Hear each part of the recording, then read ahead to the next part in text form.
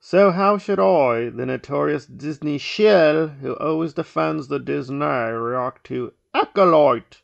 This is kind of meh. It's um, meh for the most part.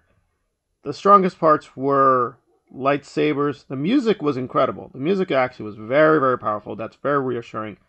That's something with the Disney era that's a little bit, a little bit lacking here and there without uh, the iconic people doing the scores. But beyond that, um, not too much to recommend it. The costumes seem strong, at least production design, getting some locations. Yes, it's good, but nothing too special. It doesn't have the distinct touch of, of The Last Jedi, at least with choosing locations like that island.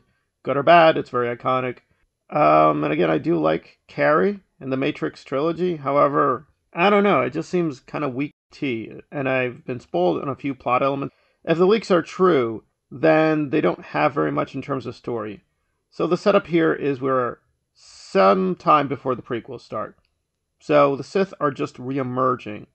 Will they be the main antagonist? Don't know. Some Jedi are being killed and they're being sent in to investigate. I guess that's interesting. But the dialogue at the beginning was really rough. I mean, it was really, really rough. So I just don't see much here. I mean, the most interesting parts will be how this links to Palpatine, right?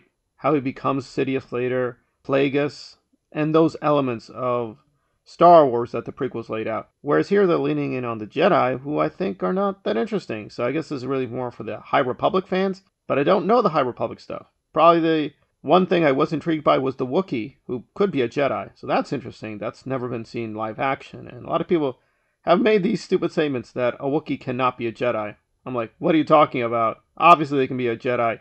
They're an organic being. So it will, I think, be good to kill a few fan myths that people who don't really know Star Wars and filter those people out and expose them as idiots. But a thing for itself, I mean, the idea of going back before the prequels is fascinating, but this particular edge was um not that strong.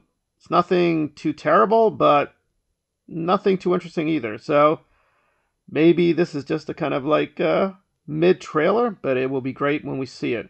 Some of them give the trailer a severe 6 out of 10. I can't recommend it yet, so we'll have to wait and see, but some intriguing elements, but not enough.